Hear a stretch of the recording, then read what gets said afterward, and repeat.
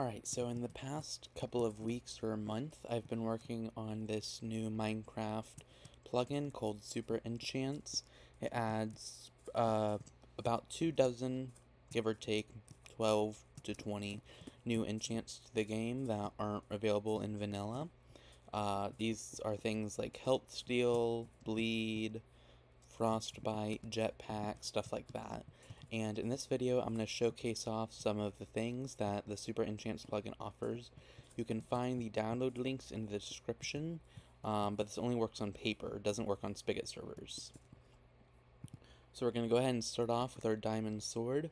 You can either do slash SE or Super Enchants, and then you can see all the enchants you can add to that specific item.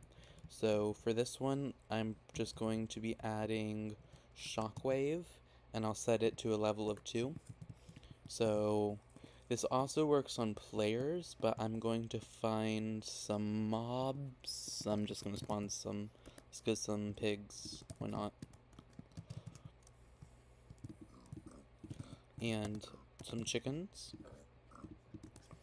And depending on the level of shockwave, it'll push them back farther and have a wider range. So if we go ahead and use this, you can see they just kind of get pushed back.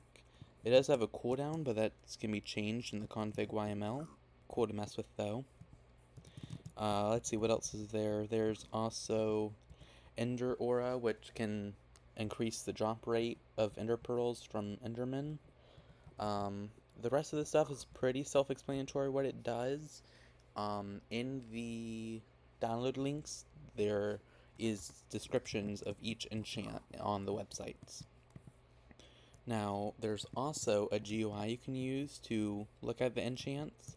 So if you use SE GUI, there's not many available available for pickaxe, but there's things like Excavator, Autosmelt, Vein Miner, Enlightened. Um, I'm going to use Excavator just to showcase this off, but it mines everything in a 3x3 area. So, pretty useful. Now for the bow, there's only really multi-shoot, which if you can't guess really, just shoots multiple arrows. Um, that's really all there is to multi-shoot. Um, and then the last thing I'm going to showcase off is the jetpack for um, chest plates. So if you hold shift, you just pretty much go up, and obviously if you stop holding it, you'll go down. Um, there's a lot of other enchants I've added to this game, but those those are just a few of them. I'm updating this plugin every one to three days, and I'll be working on an API soon for developers to use.